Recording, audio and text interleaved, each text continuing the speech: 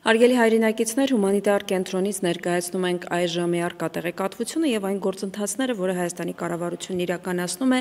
Լեռնային Ղարաբաղից բռնի տեղահանված անձանց հումանիտար կարիքները եւ խնդիրները լուծելու համար։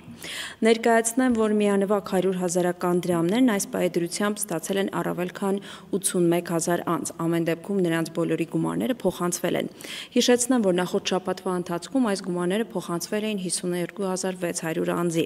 Այսօրվա տվյալները գումարներով արդեն 29078 անձի եւս փոխանցվել են գումարներ, որից 14593-ը անչափահասներն են։ Այսինքն առավել քան 80000 անձի փոխանցվել են միանվագ գումարները, մյուսների դիմումները մշակման փուլում են եւ ես զուգահեռ եւս մեկ անգամ պետք է հորդորեմ, որպեսի առևտրային բանկերում բացեն քարտային հաշիվներ, նաեւ այդ հաշիվներին հետագայում կկցվեն անչափահասների դիմում հայտերը, որը պետք է լրացնել դիմում.ssa.am կայքում։ Ես նաև հիշեցնեմ, որ հենց այս կայքում կարող եք դուք նաև մուտքագրել ձեր տվյալները եւ տեղականալ, թե երբ եւ որ բանկ է փոխանցվել ձեր գումարը։ Սա այն դեպքում, եթե մեկից ավելի բանկերում քարտեր ունեք եւ չեք կարողանում կողմնորոշվել։ Այստեղ հստակ նշվում է, թե գումարը երբ, ինչպես եւ որ բանկում է փոխանցվել։ Եթե ինչ-ինչ պատճառներով դուք ծրագրի շահառու չեք հանդիսանում, սա եւս արտացոլվում է։ Այս դեպքում առաջարկում ենք ձեզ դիմել նաեւ միասնական սոցիալական ծառայություն, որովհետեւ կան դեպքեր, երբ անձինք դիմել են միասնական սոցիալական ծառայություն, բայց քաղաքացիության եւ միգրացիայի ծառայության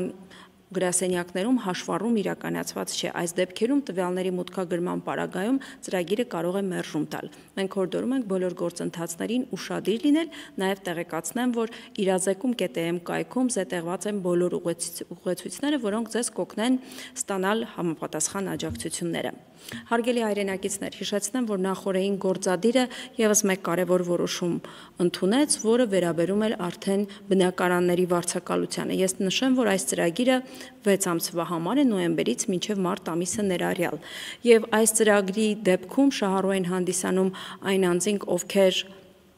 Հայաստան են եկել ինչպես սեպտեմբերի 24-ից Հետո այնպես էլ դրանից առաջ, այսինքն երկու խմբին էլ վերաբերում է այս ծրագիրը։ Բացառություն են կազմում այն անձիկ եւ ընտանիքի անդամները, որոնք սեփականություն ունեն, որոնք գտնվում են հատուկ խնամքի կենտրոններում, ինչպես նաեւ բնակվում են պետական կամ համայնքային սեփականություն հանդիսացող շինություններում։ Նաեւ ցանկանում եմ նշել, որ ընթացիկ հոկտեմբեր ամսվա համար հավելյալ որևէ դիմում ներկայացնել պետք չէ։ Գումարները կփոխանցվեն նույն քարտային հաշվեհամարներին, որոնց փոխանցվել են 100 000 տարեկան դրամերը։ Ես հիշեցնեմ, որ յուրաքանչյուր անձի համար պետությունը տրամադրում է 40000 դրամ եւ 10000 դրամ հավելյալ կոմունալ ծախսերի համար։ Եթե լինում են դեպքեր, երբ անձը ունի սեփականություն, այսինքն բնակարան, այնուամենայնիվ պետությունը փոխանցում է 10000 դրամ կոմունալ վճարը յուրաքանչյուր անձի համար։ Ծրագրի մանրամասները մենք parberabar կներկայացնենք, որպեսի հանրության համար առավել པարզ լինի գործընթացը։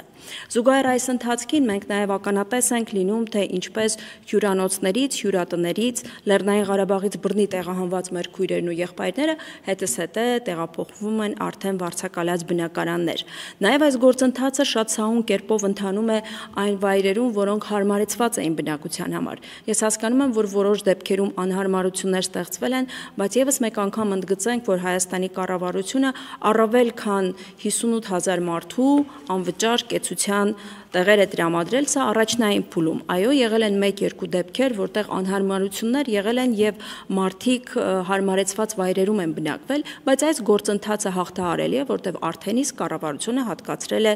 վարձով բնակարանների համար գումարները, որոնք արդեն իսկ կվճարվեն հաջորդ շաբաթվա ընթացքում։ Թե ինչպիսի գործընթաց է այս պահին տեղի ունենում մարզերում, ինչպես է տեղաշարժը տեղի ունենում, մենք կիմանանք տարածքային կառավարման եւ ենթակառուցվածքների նախարար պարոն Գնել Սանոսյանին, ում փոխան փոխանցում եմ խոսքը։ Համեցեք պարոն նախարար։ Շնորհակալություն Տիկին Բաղդասարյան, հարգելի հայրենակիցներ, ես նախ մարզերում տեղաբաշխման հետ կապված ընդհանուր որոշակի պատկեր ներկայացնեմ։ Այսօրվա դրության պատկերը հետևյալն է՝ մոտ 80000, 80128 բնի տեղահանված հայրենակիցներ ունենք մեր 10 մարզերում եւ նրանք տեղաբաշխված են հյուրանոցներում, հյուրատներում,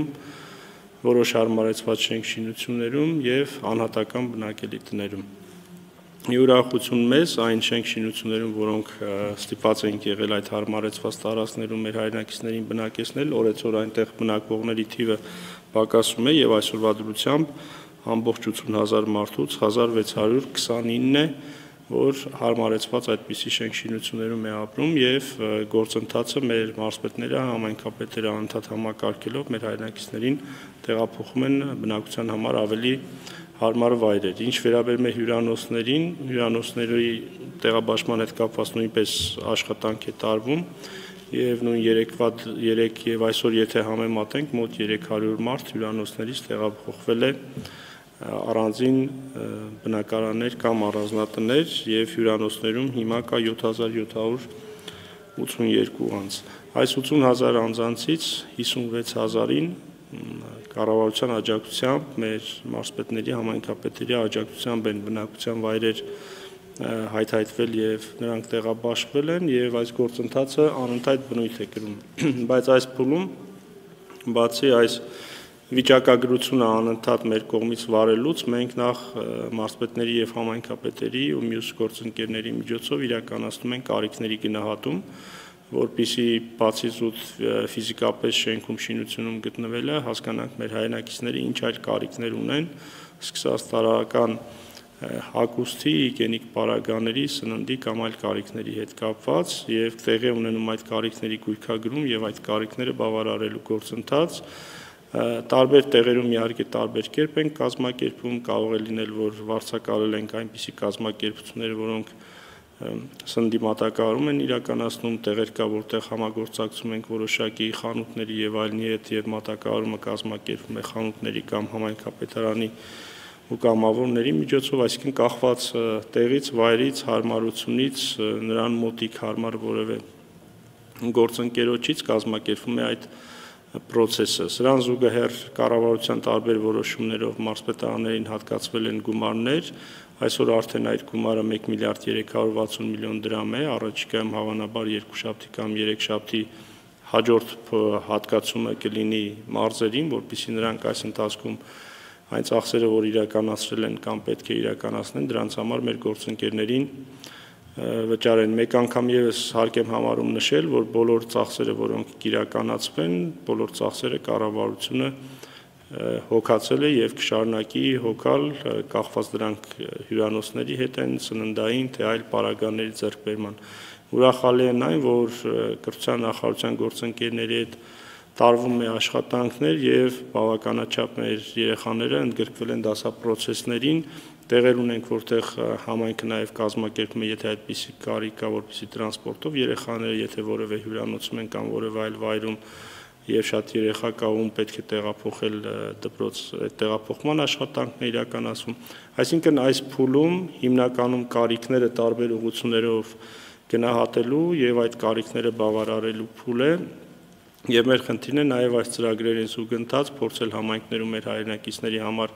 եւ գտնել բնակարաններ կլինեն դրանք վարձակալական հիմունքներով թե բարեգործական հիմունքներով եւ նրանց հատկապես բնակեցված հարմար, հարմարեցված ու բնակեցված վայրերից եւ հյուրանոցներից տեղաբաշխելու առումով, ինչպես նաեւ բավական աշխատանք է տարվում ըստ մասնագիտությունների, ըստ կարողությունների, ըստ իրենց ցանկության եւ հարմարության նաեւ տարբեր ոլորտներում աշխատանքի ընդունման առումով պետք է ուրախությամբ նշել, որ բավական հայրենակիցներ տարբեր բնակավայրերում արդեն կարողացել են նաև իրենց աշխատանքը գտնել։ Շատ կարևոր դիտարկումներ էր եւ ինչպես նշեցիք, մարզպետարանները շարունակում են հոգալ այն կարիքները, որոնք ունեն մեր հայրենակիցները, դրանք կապված են սննդի եւ առաջնային այլ կարիքների հետ եւ դրան է նպատակաուղված նաեւ նախորդային գործադիրի եւս մեկ որոշում, ինչպես նշեցիք, 1 միլիարդ 360 միլիոն հատկացվել է, նախորդային հիշեցնեմ, որ 300 միլիոն հատկացվել է Կոտայքի մարզին, որտեղ ամենաշատ թվով Լեռնային Ղարաբաղից բռնի տեղահանված անձինք ունենք այս պայի դրությամբ։ Ես զուգահեռ անդրադառնամ նաեւ կառավարության նախորդ նիստում ընդունված եւս երկու որոշումների։ Դրանցից մեկը վերաբերում է աշխատատեղերին եւ առավելապես ուսուցիչների զբաղվածությանը։ Ես հիշեցնեմ, որ նախարարությունը հստակեցրել է այլ ընթացակարգը, որով արտամրցութային կարգով նշանակվում են ուսուցիչները թափուր աշխատատեղերում։ Արդեն հոկտեմբերի 16-ից հասանելի կլինի համապատասխան հարթակը, որտեղ ըստ մարզերի եւ ըստ մասնագիտությունների կարելի է ողջել թե ինչպիսի թափուր տեղեր կան եւ միանգամից on-line կարգով դիմել այդ տեղին։ Նաև նշեմ, որ նախարարությունը ենթադրել է, որ հնարավոր է, որ բնակության վայր փոփոխվի եւ ընդամենը 10 օրվա ընթացքում հնարավոր է, որ երկրորդ անգամ դիմեք այս ծրագրին եւ այսինքն արտամրցութային կարգով նշանակվեք այդ տեղում։ Կարևոր եւս մեկ նկատառում, որ այս ուսուցիչները ստանալու են 30%-ի լրավճար։ Նաև Նշեմ, որ հավելյալ 50 հազարական դրամ հնարավորություն ունեն ստանալու այն ուսուցիչները, որոնք կտեղաբաշխվեն Սյունիքի եւ Վայոց ձորի մարզում, ինչպես նաեւ Գեղարքունիքի Ճամբարակ եւ Վարդենիս եւ Տավուշի մարզի նոեմբերյան նոեմբերյան Իջևան եւ Բերդ համայնքներում։ Այս դեպքում բացի 30% լրավճարից եւս 50 հազար հավելավճար կստանան ուսուցիչները։ Գործադիրի մեկ այլ որոշում վերաբերում էր վարձավճարներին։ Վարձավճարները կփոխհատուցվեն կրթաթոշակների ծրագրի տեսքով եւ այս դեպքում կարգին մանրամասնորեն կանրադառնանք մեր հետագա թողարկումների ընթացքում։ Ես նշեմ, որ որպես չափորոշիչ ընտրվել է պետական բուհերում համապատասխան մասնագիտության միջին վարձավճարը։ Եվ ամենակարևոր տեղեկություններից մեկը, որ մեր աշակերտները համալրում են կրթական հաստատությունները։ Ահա այսպես Լեռնային Ղարաբաղից բռնի տեղահանված երեխաներից 13443-ը արդեն իսկ ընդգրկվել են հանրակրթական դպրոցներում։ Երևանում 4239, Կոտայքում 2334, Արարատում 1866, Արմավիրում 1161, Լորիում 796, Գեղարքունիքում 672, Արագածոտնում 600, Շիրակում 552, Սյունիքում 536, Տավուշում 406, Վայոց ձորում 279։ Ինչպես տեսնում եք, գործընթացը բավականին սահուն կերպով շարունակվում է եւ մենք լիահույս ենք, որ հաջորդ արդեն շաբաթվա ավարտին բոլոր երեխաները ընդգրկված կլինեն կրթական հաստատություններում։ Եվ վերջում որոշակի տեղեկատվություն առողջապահության ոլորտից։ Այս պահին 208 բուժարու շարունակում է իր առողջության վերականգնումը Հայաստանի տարբեր բժշկական հաստատություններում։ Նշեմ, որ 56-ի վիճակը շարունակում է մնալ ծանր, 10-ը ծայրահեղ ծանր։ Առավել քան 2 տասնյակ մարդ արդեն իսկ դուրս է գրվել առողջացմամբ բուժ հաստատություններից։ Իսկ 20-ից ավելի բուժ վաճառու իր առողջության վերականգնման գործընթացը շարունակում է արտերկրում։ Իդեպ առողջության պահպանման առաջնային օղակներում այս պայդրությամբ արդեն իսկ 26512 հայրենակից է կցագրվել։ Ես հիշեցնեմ, որ այս գործընթացը թույլ է տալիս նաև արդեն պետպատվերի շրջանակներում ուղեգրվել եւ եթե ինչ-ինչ առողջական խնդիրներ կան, նաև այս հարցերը կարգավորել։ Մեր այսօրվա տեղեկատվությունը այսքանն էր, կհանդիպենք վաղը ժամը 16:00-ին որոնք են հաշմանդամություն ունեցող անձանց աշխատանքային իրավունքները։ Հաշմանդամություն ունեցող աշխատողների անվտանգությունը եւ առողջության պահպանումը երաշխավորվում են օրենքով։ Արգելվում է խտրականությունը հաշմանդամություն ունենալու պատճառով։ Աշխատանքի ծավալների կամ հաստիկների կրճատման ժամանակ հավասար պայմանների արկայության դեպքում աշխատանքում մնալու նախապատվությունը տրվում է հաշմանդամություն ունեցող աշխատողին, հարազատին, որը զբաղվում է ֆունկցիոնալության խորը աստիճանի սահմանափակմամբ հաշմանդամություն ունեցող նախկին զինծառայողի խնամքով։ Մասնագիտական հիվանդության կամ աշխատանքային խեղման պատճառով աշխատունակությունը կորցրած է աշխատատեղը եւ պաշտոնը պահպանվում են մինչեւ աշխատունակության վերականգնումը կամ հաշմանդամություն ունեցող անձ ճանաչելը։ Աշխատատեղը պահպանվում է, եթե անձը ժամանակավոր անաշխատունակության մեջ է գտնվել ոչ ավելի քան 6 ամիս անընդմեջ կամ 1 տարվա ընթացքում ոչ ավելի քան 180 օր։ Հաշմանդամություն ունեցող աշխատողը կարող է դիմել գործատուին օրենսդրությամբ սահմանված կարգով խելամիտ հարմարեցումներ ստանալու համար։ Խելամիտ հարմարեցումներ են աշխատավայրը մատչելի դարձնելը, աշխատանքային ճկուն գրաֆիկ սահմանելը, աջակցող սարքեր եւ ծրագրեր ձեռք բերելը, պարտականությունները վերանայելը։ Հաշմանդամություն ունեցող աշխատողի պահանջով բժշկական եզրակացության հիման վրա կարող է սահմանվել ոչ լրիվ աշխատանքային օր կամ շաբաթ։ Արտաժամյա աշխատանքի նա կարող է ներգրավել միայն իր գրավոր համաձայնությամբ, եթե բժշկական եզրակացությամբ արգելված չէ։ Հաշմանդամություն ունեցող աշխատողին կարող է տրամադրվել չվճարվող արձակուրդ բժշկական եզրակացությամբ սահմանված ժամկետներում, սակայն ոչ ավելի քան 30 աշխատանքային օր տարվա ընթացքում։